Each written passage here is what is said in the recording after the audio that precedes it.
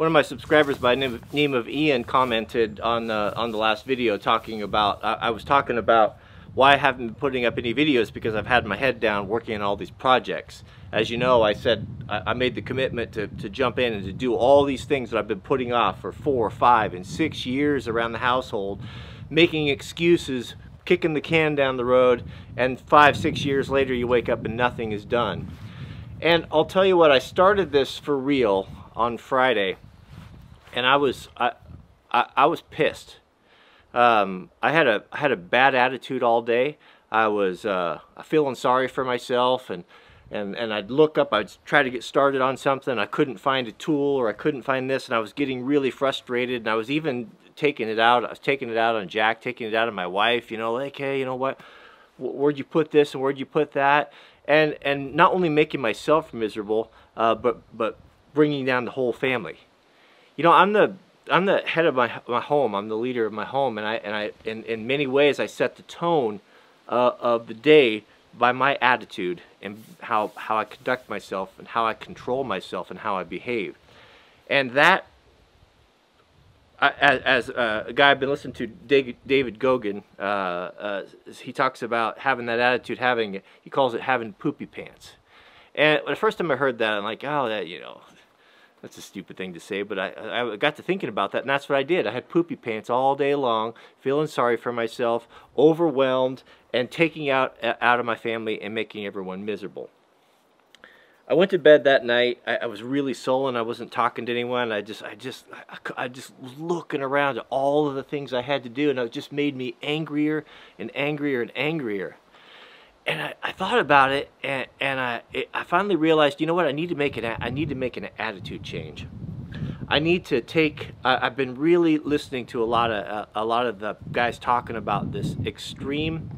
I, I think it's extreme accountability or, or something like that. And what that means is stop lying to yourself. Stop trying to blame other people for your problems, and step up to the plate and take care of your own problems. Deal with it and I thought I didn't hardly sleep at all. That was Saturday. I took Saturday off, and and I, and I was still kind of thinking about that, and, and it was really, it was really started to sink in, and I started to understand what was going on, and I realized that I've been lying to myself, and, and making by making excuses, and and by uh, uh, blaming other people, blaming other people uh, for for the reason why I don't do something.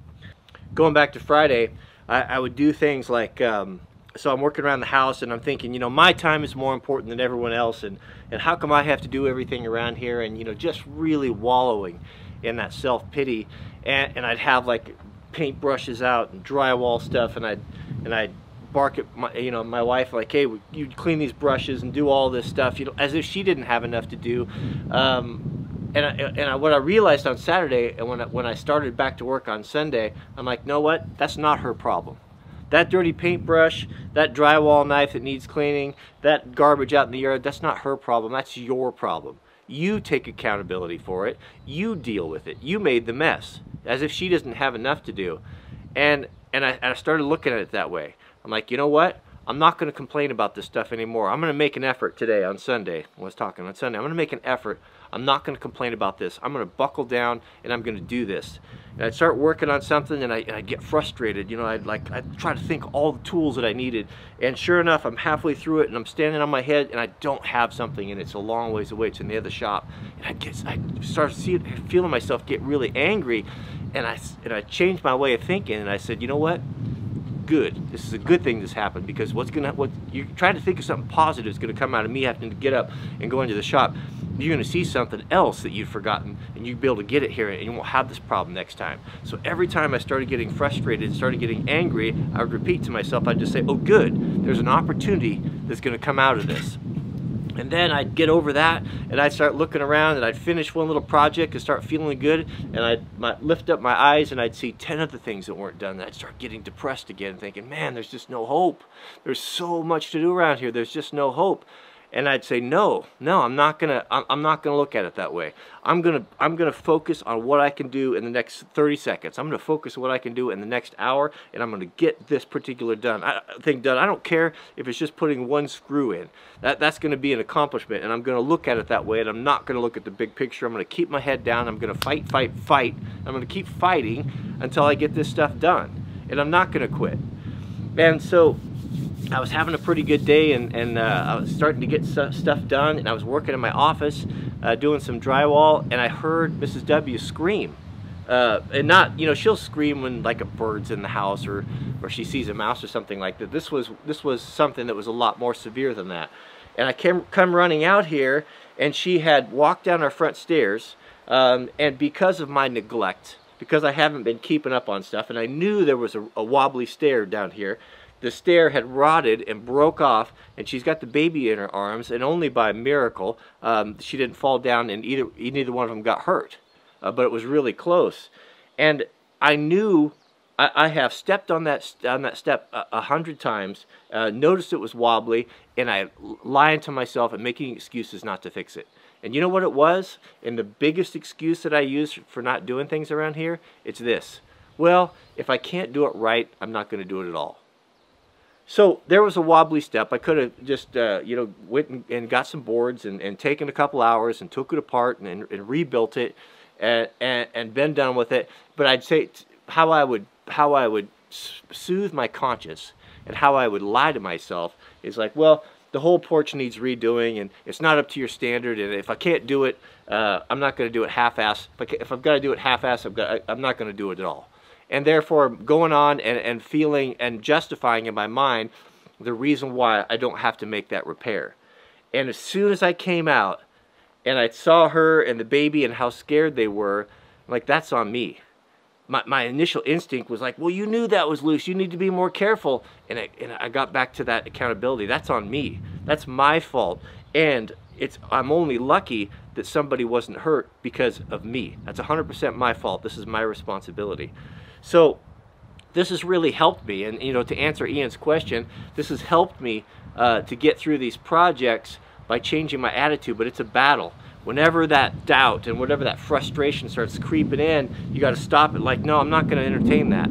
Yeah, maybe I can't do everything. Maybe I can't get all this stuff done, and, and maybe I got to paint the whole house, and it's just too overwhelming. Well, you know what? Go get yourself two gallons of paint and paint half of one side. And then the next day, go paint another one. At least do something. So I I um I hope this is helpful, uh, and, and, I and I think that there's guys out there that can relate to this, and I and I have put off all of these things for the things that I wanted to do, and what has it got me? It's got me a miserable. Uh, it's, it's, I've been very unhappy. I've been very unhappy, and I, I I would I don't know if I'd say to the point of depression, but sometimes it is depressing when you have got so many things to do and you you just don't even know where to start and you don't don't even think uh, you you can accomplish it. And I, I'm and I'm feeling better about it. I, have got five days in of, of working I'm getting up at 4:30 in the morning. 4:30 in the morning getting the stuff done I need to do. If I need to get uh, parts or supplies I'm at the lumber yard when it opens at 6 and and so I'm not losing any time. I'm waste, no, wasting time. Getting up at 4:30 quitting to work at 6:30 sometimes 7 I, six six days a week. It's going to get done. It's going to happen. So um, uh, that's why I, have been so focused on that and and, and trying working so hard on this. I just couldn't be. I just couldn't take the camera along and and and do it. It was it was slowing me down too much. It was too much of a frustration for me.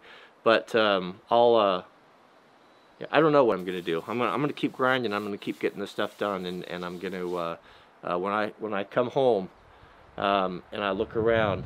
I don't want to see unfinished projects. I want to see finished projects. And, just because something it may not be as good as I was hope it could be, you know what?